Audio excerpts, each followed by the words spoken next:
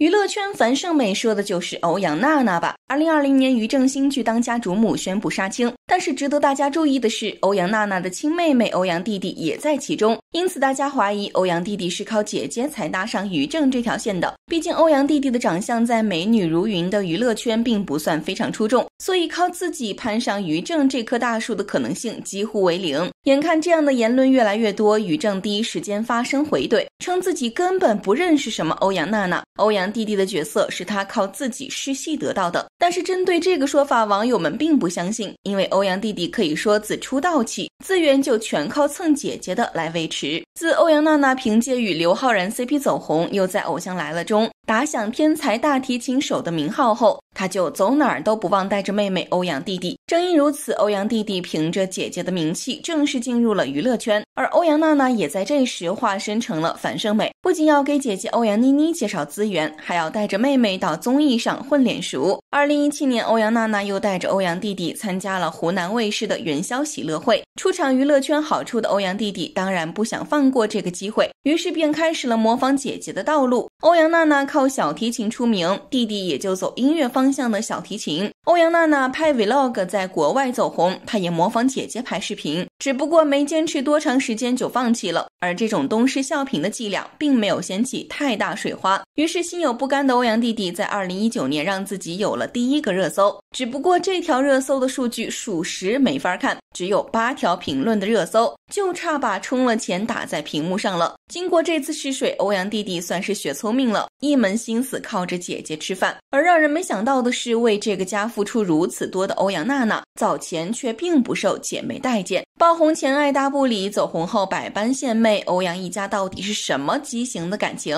二零一八年，靠着姐姐登上《王牌对王牌》的欧阳弟弟，在节目中说了这样一句话：“娜娜是他学习的榜样。”乍一听还以为两两姐妹姐妹情深，其实只不过是妹妹欧阳弟弟的见风使舵。早前在欧阳娜娜还未出名时，一家人做客《康熙来了》，过程中欧阳娜娜全程坐在最边上，主场全留给了姐姐和妹妹，并且姐姐和妹妹能一同表演节目。而欧阳娜娜只能呆呆地坐在一旁，仿佛像一个局外人。欧阳娜娜还曾自曝过，在家中弟弟妮妮和妈妈很亲，自己则跟爸爸很亲。虽然是同一个家庭，但却因此形成了两个派系。所以，曾经的欧阳弟弟几乎不理欧阳娜娜。后来，欧阳娜娜成名，踏入娱乐圈，他才开始一口一个姐姐叫的亲热。只不过镜头前角度亲昵，镜头后却一刻没让欧阳娜娜省心。在《王牌》中，欧阳弟弟写的信还有后半句，他说感谢娜娜无限包容他的坏脾气。从这句话就能看出，就算是半年赚七千万养家的欧阳娜娜，也得忍着他的臭毛病。他的父母更是直言不讳，弟弟在家里是脾气最坏的一个。只是还好，弟弟只是在家中发发小脾气，而姐姐欧阳妮妮就不一样了，直接想把妹妹拉下神坛。在欧阳娜娜差点被封杀的路上，亲姐欧阳妮妮的功劳可不小。二零一八年十月，欧阳妮妮因为妹妹的牵线，接到了森马的一个合作。谁知欧阳妮妮到北京工作之后，居然说这是出国工作。这样的发言不仅激起大家的怒火，还差点毁掉欧阳娜娜的星途。几个月后，风头正盛的欧阳娜娜热度暴跌，并且凡是出现欧阳娜娜画面的，全部被电视台打上了马赛克。而在大家搜集的各项罪状中，有一条正是她姐姐欧阳妮妮的不当发言。随后，欧阳娜娜立马站出来表明立场，这事儿才告一段落。而欧阳妮妮也不是第一次这么坑妹妹了。早前，欧阳妮妮因为在外套中发现了两百块钱而被台媒大肆宣扬，于是就是这么无聊的新闻，在欧阳家的操作下，直接破了台湾事实浏览记录。欧阳妮妮也莫名其妙爆红，当时没有任何作品的她，却能连接六个代言，并且在谈及此事时，欧阳妮妮总是若无其事的炫耀此事。正是这种态度，让不少人开始抵触欧阳妮妮，而欧阳家的做法却是将不在台湾的欧阳娜娜召回到岛上，让她办了三场大提琴义演，帮姐姐改善路人缘。转来转去，转来转，一天就超过几十万人这样。